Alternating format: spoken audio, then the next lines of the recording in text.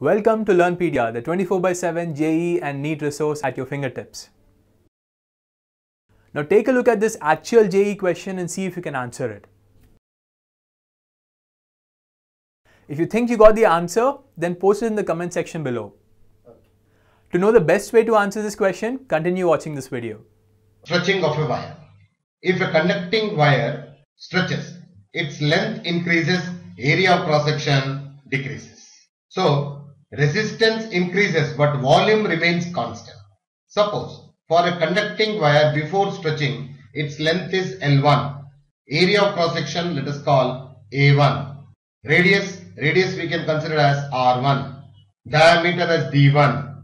Then R will be or resistance R1 will be rho L1 by A1. After stretching its length becomes A2. Area of cross section A2. Radius will become R2. Diameter D2 resistance R2 will be equal to rho L2 by A2. Ratio of resistance before and after stretching we can directly write in terms of length, in terms of area cross section, in terms of radius or diameter. If length is given then R is proportional to L square. Radius is given R is inversely proportional to L square. R to the power 4. Let us see because volume is constant. If a conducting wire stretches, its length increases, area of cross section decreases. So resistance increases, but volume of the wire remains same. For a conducting wire, before stretching, length is L1, area of cross section R1, radius is R1, A1 is area of cross section, diameter D1, then R1 will be equal to rho L1 by A1. Similarly, after stretching, length is L2, area of cross section A2, radius R2, diameter D2.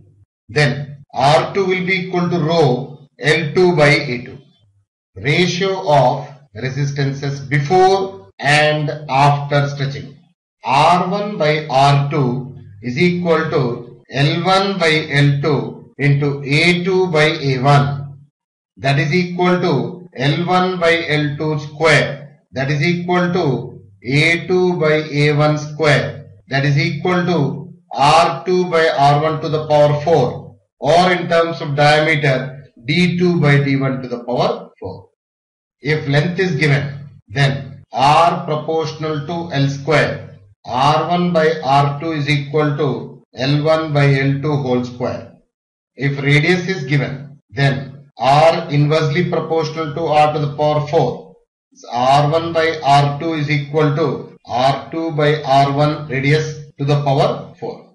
So volume of the matter remains same. Only length will increase, area of cross section is going to decrease. I hope you can now answer the question. Take a look at the solution now.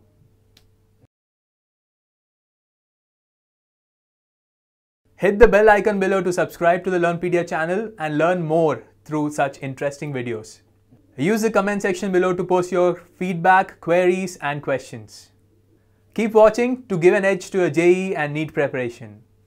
Learnpedia's JEE and NEET prep tools contain over 4,000 videos and over 20,000 questions. You can access them online through our website or offline through an SD card or a pen drive. To buy now, visit www.learnpedia.in. You can also try a free demo of the product before buying.